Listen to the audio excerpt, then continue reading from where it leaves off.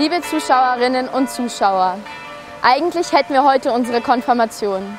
Wir würden zur Musik des Posaunenchors in die Stadtkirche einziehen. Wir haben uns alle sehr darauf gefreut. Auf den Gottesdienst und auch auf das Fest. Dann kam alles anders. So wie uns geht es vielen Konfirmandinnen und Konfirmanden, deren Konfirmation verschoben werden musste. Heute, am Jubilate-Sonntag, soll es deswegen im Gottesdienst auch um unsere Konfirmation gehen. Herzlich willkommen in der Selber Stadtkirche. Thank you.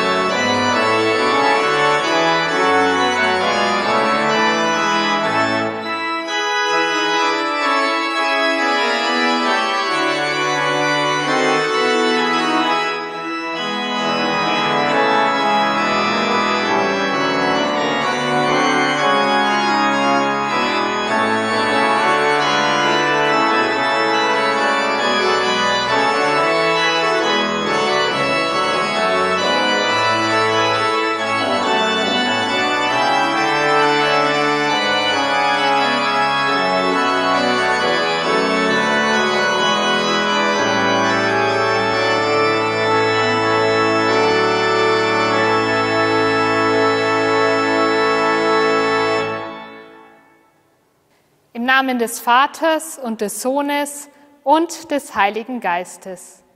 Amen.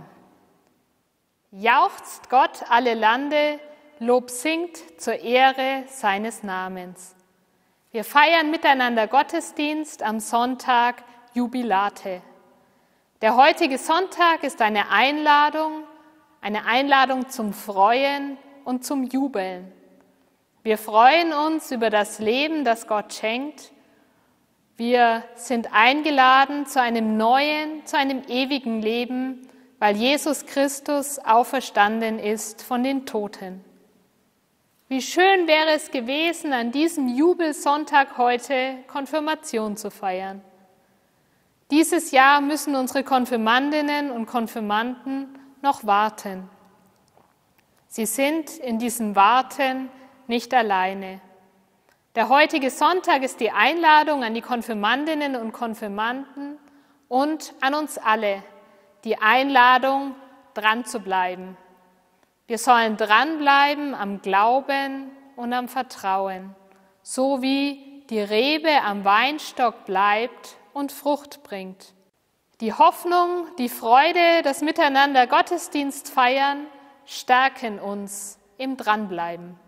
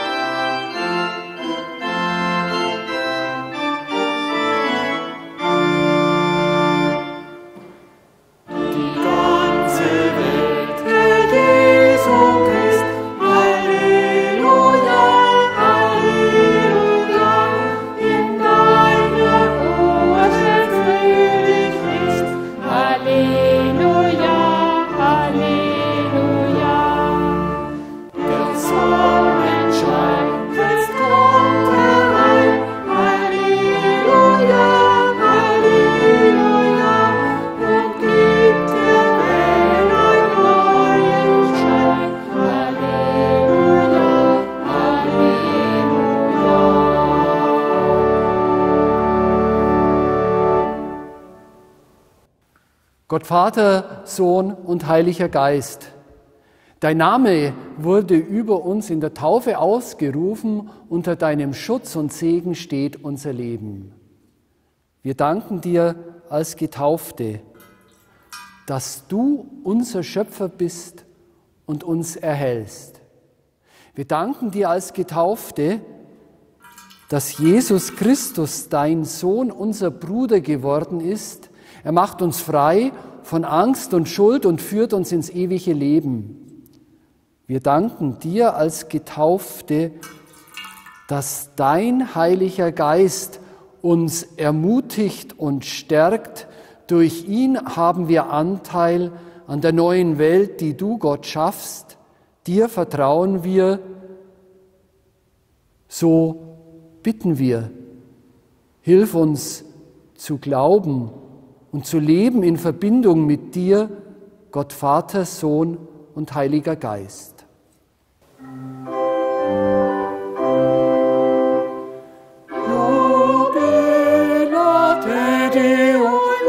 jubilate Dio,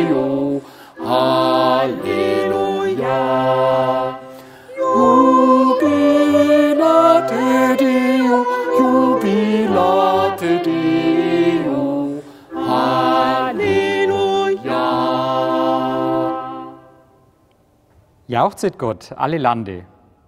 Lob singet zur Ehre seines Namens, rühmet ihn herrlich. Sprecht zu Gott, wie wunderbar sind deine Werke. Deine Feinde müssen sich beugen vor deiner großen Macht. Alles Land bete dich an und Lob singe dir. Lob singe deinem Namen. Lasst uns beten.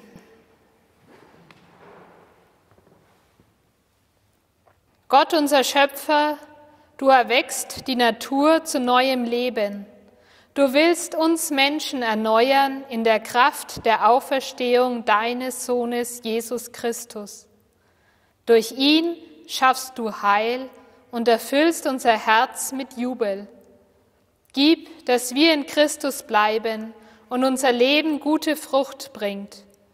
Dir sei Ehre und Preis, jetzt und in Ewigkeit. Amen. Wir hören das Evangelium bei Johannes im 15. Kapitel. Christus spricht zu seinen Jüngern, Ich bin der wahre Weinstock und mein Vater der Weingärtner. Eine jede Rebe an mir, die keine Frucht bringt, wird er wegnehmen, und eine jede, die Frucht bringt, wird er reinigen, dass sie mehr Frucht bringe. Ihr seid schon rein um des Wortes willen, das ich zu euch geredet habe. Bleibt in mir und ich in euch, wie die Rebe keine Frucht bringen kann aus sich selbst, wenn sie nicht am Weinstock bleibt, so auch ihr nicht, wenn ihr nicht in mir bleibt. Ich bin der Weinstock, ihr seid die Reben. Wer in mir bleibt und ich in ihm, der bringt viel Frucht, denn ohne mich könnt ihr nichts tun. Wer nicht in mir bleibt, der wird weggeworfen wie eine Rebe und verdorrt, und man sammelt sie und wirft sie ins Feuer, und sie müssen brennen. Wenn ihr in mir bleibt und meine Worte in euch bleiben, werdet ihr bitten, was ihr wollt, und es wird euch widerfahren. Darin wird mein Vater verherrlicht, dass ihr viel Frucht bringt und werdet meine Jünger. Ehre sei dir Herr. Lob sei dir Christus. Auch wir Konformandinnen haben das Glaubensbekenntnis zusammen gelernt und darüber nachgedacht, was es für uns bedeutet. Manchmal haben wir das Glaubensbekenntnis auch miteinander gesungen. Und auch heute wollen wir unseren Glauben bekennen, indem wir miteinander singen, ich glaube an den Vater.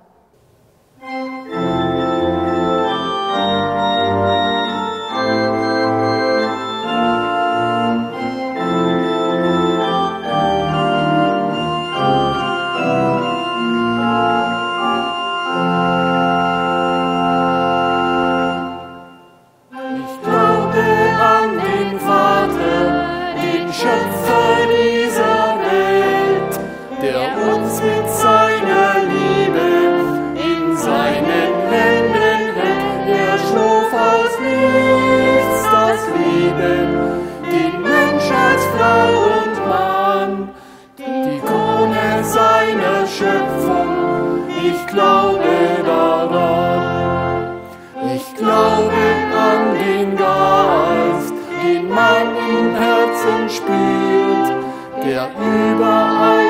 an in Gottes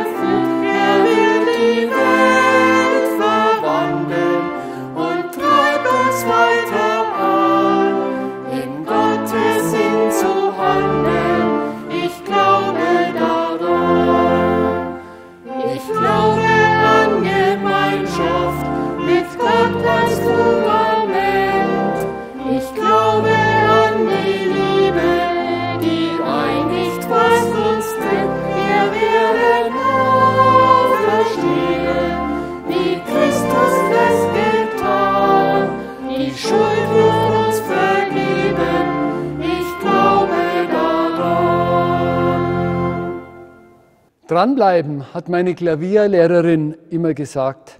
Nicht einfach nur vor mich hinklimpern und aus dem Fenster schauen, sondern konzentriert üben, genau hinhören. Eine halbe Stunde am Tag sollte es schon sein. Für mich als Kind war das ziemlich schwer, aber so mit 13, 14 Jahren kam ich an den Punkt, da wird was draus, dachte ich. Da fügen sich die Töne, da höre ich Musik und die Musik ist mir seitdem wichtig geblieben, auch wenn ich nicht Musiker geworden bin. Dranbleiben muss ich, wenn ich eine Sprache lerne.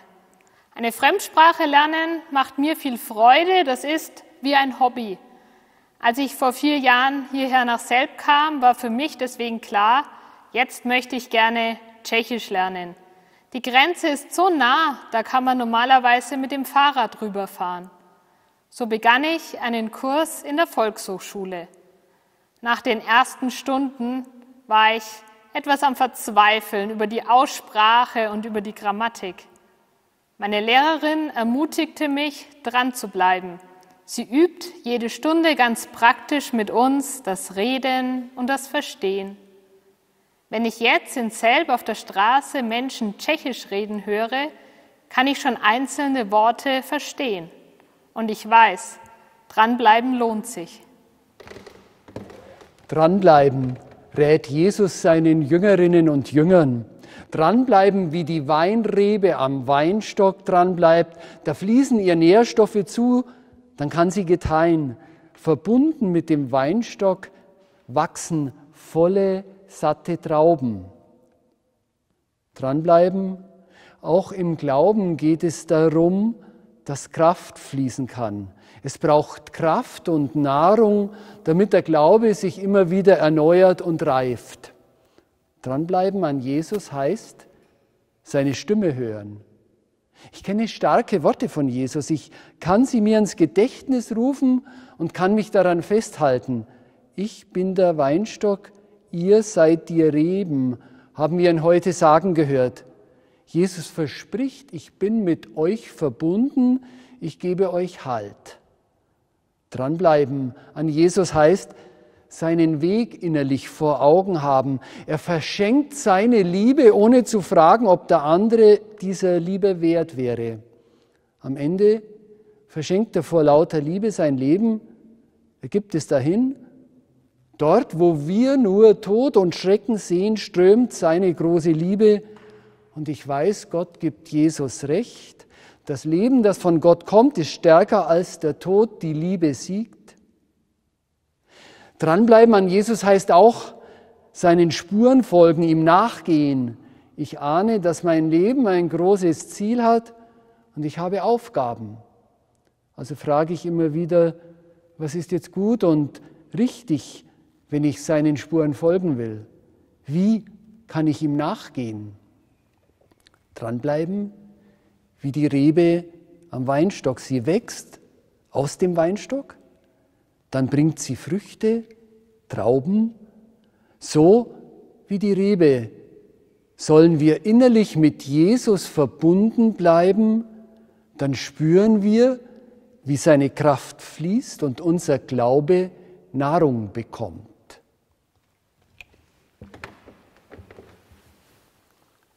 Ich habe schon meine Zweifel, ob es Gott gibt, sagt ein Jugendlicher zu mir. Und er fragt mich, können Sie mir denn beweisen, dass es ihn gibt? Nein, beweisen kann ich ihm das nicht. Trotzdem entscheidet sich der Jugendliche, am Konfirmandenjahr teilzunehmen. Er möchte mehr erfahren über den Glauben. Und er wird ein ganz engagierter und interessierter Konfirmand. Immer wieder spricht er auch offen über seine Zweifel. Sein Suchen und Fragen macht der Gruppe und mir deutlich, dranbleiben am Glauben ist nicht so selbstverständlich und es ist manchmal auch ganz schön schwierig. Davon kann auch eine Frau erzählen, die schon 74 Jahre alt ist und dieses Jahr ihre diamantene Konfirmation feiert. Es gab Momente in meinem Leben, da habe ich an Gott gezweifelt. Ja, ich bin fast verzweifelt. Sie erzählt, wie sie den Tod ihres einzigen Kindes kaum verkraften konnte. Dranbleiben kann hart und schwierig sein. Ich konnte eine Zeit lang gar nicht mehr beten, erzählt sie mir. Und nach einer Pause fährt sie fort, aber ich wusste die ganze Zeit, dass andere für mich beten. Dranbleiben am Glauben ist manchmal gar nicht so einfach, aber die Gemeinschaft im Glauben hilft dabei.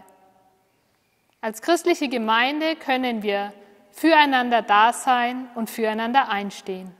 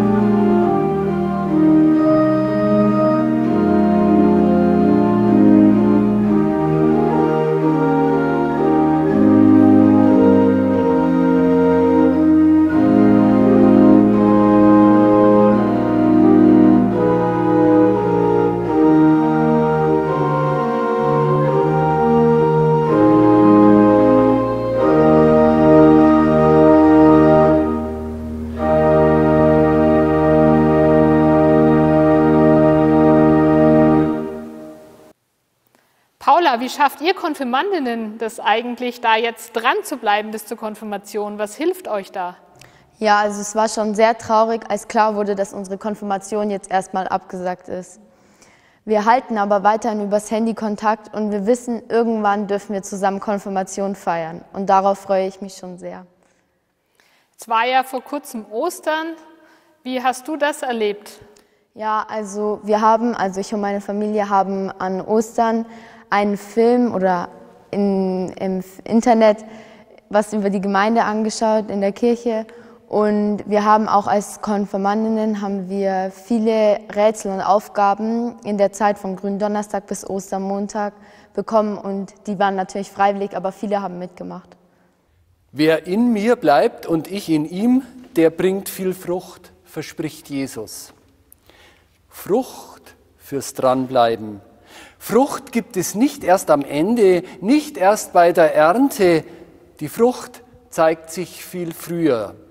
Paula, unsere Konfirmandin, hat von der Gemeinschaft in der Gruppe erzählt, die hält zusammen, auch wenn es wenig Möglichkeiten gibt, sich zu treffen. Die Gemeinschaft stärkt, gerade in so schwierigen Zeiten. Frucht wird sich ganz sicher auch beim Fest zeigen. Wenn die Familien Konfirmation feiern werden, kommen Grüße von fernen Verwandten, Nachbarn schicken Aufmerksamkeiten. Es gibt eine große Gemeinschaft, die nah und fern verbunden ist. Beim Fest ist sie zu spüren. Und die Freude ist eine Frucht. Konfirmandinnen und Konfirmanden freuen sich über die schönen Kleider. Ein besonderes Festessen wird ausgerichtet. Ganz sicher kommen Geschenke. Der Tag soll Glanz haben und ein Leben lang in Erinnerung bleiben. Die Frucht, die Jesus verspricht, ist noch viel mehr. Jesus verspricht uns Frucht fürs ganze Leben. Viel Frucht. Ich habe eine Perspektive im Leben. Ich weiß, dass mein Dasein Sinn hat und ein Ziel.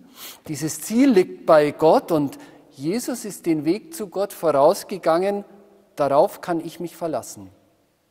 Viel Frucht. Ich erlebe, dass ich nicht allein bin. Es gibt viele Menschen neben mir, die inspirieren mich. Ihre Gemeinschaft trägt mich. Gerade in den schwierigen Corona-Zeiten versuchen unsere Gemeinden, solche Gemeinschaft immer wieder anzubieten. Es gibt Nachrichten aus der Gemeinde, Mails oder Briefe, der eine und andere Anruf. Wir sind nicht allein. Viel Frucht. Wenn ich ganz besonders glückliche Momente erlebe, dann sagt mir mein Glaube, freu dich, genieße es. Du ahnst jetzt, solches Glück hat Gott mit dir vor. Er will, dass dein Leben sich fügt, dass es glückt. Reif und satt wie Trauben soll dein Leben am Ende sein. Gott wird es dir schenken. Deshalb freuen wir uns und feiern. Amen.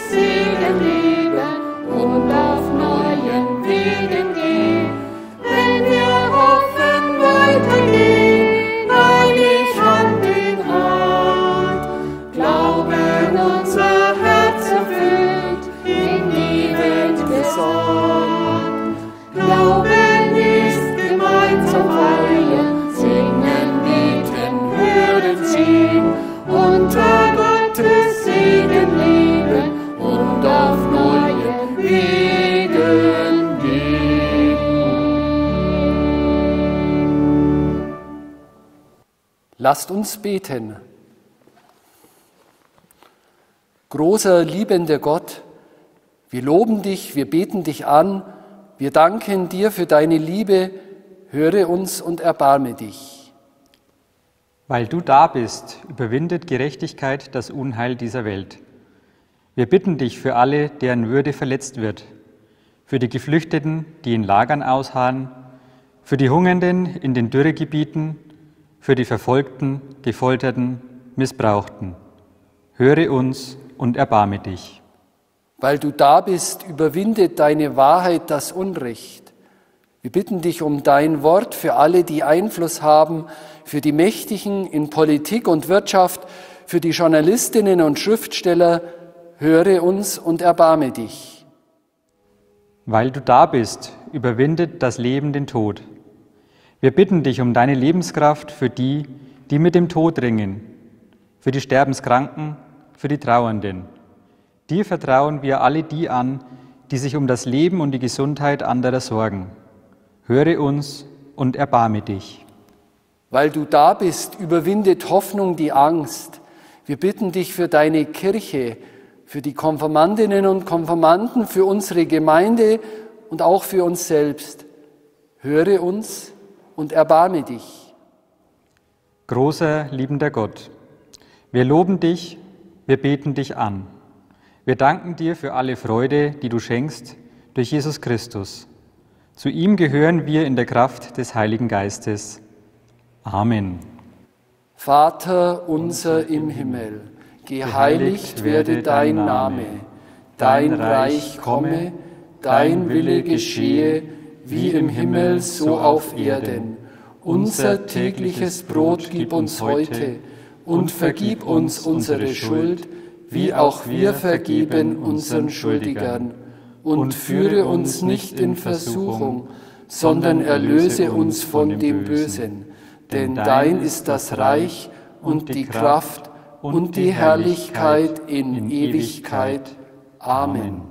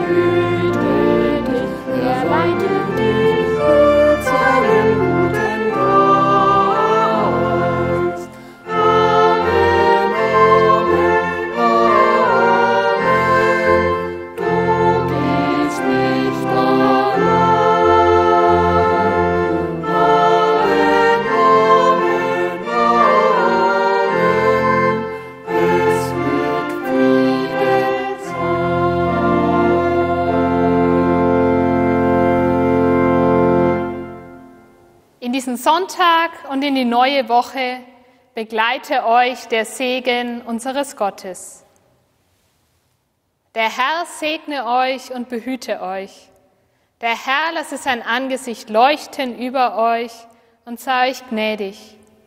Der Herr erhebe sein Angesicht auf euch und gebe euch Frieden. Amen.